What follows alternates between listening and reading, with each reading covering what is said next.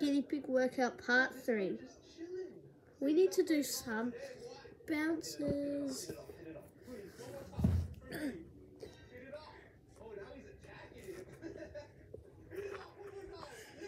Push up. Sit ups.